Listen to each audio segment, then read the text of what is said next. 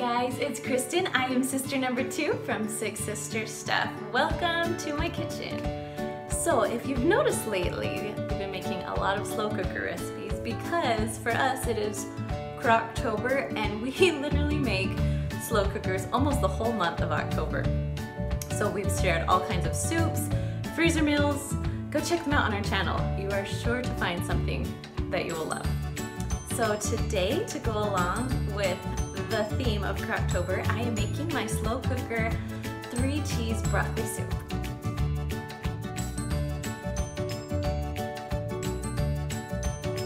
Now, before we get started, don't forget to subscribe to our channel.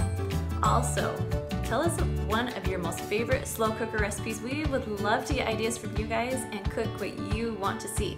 So comment below your favorite slow cooker recipe. Alright guys, let's go make some slow cooker cheese soup. So first you're going to start with your slow cooker and put in about half a cup or just about half an onion. Then I added my chopped broccoli, 2 to 4 cups depending on how much broccoli you like. Then a 12 ounce can of evaporated milk, not sweetened condensed milk, evaporated milk.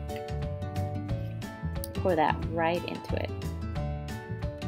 Next I'm going to add about 4 cups of chicken broth. Now you can either do two cans or I have this container that was exactly four cups, so that worked out perfect. Then I'm adding a little bit of salt and a little bit of pepper just for extra taste. I like a lot of salt in my soup. Then put the lid on and cook on low for about four hours. Once it's done cooking, it's time for my favorite part, the cheese. I cut up about 8 ounces of Velveeta cheese and threw it right in. You can use more than 8 ounces if you want to.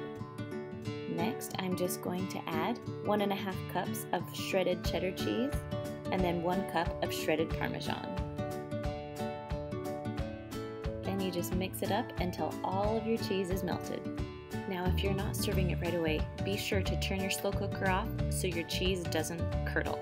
We love to serve ours on bread bowls with a little cheese on top. And while you're at it, don't forget subscribe to our channel.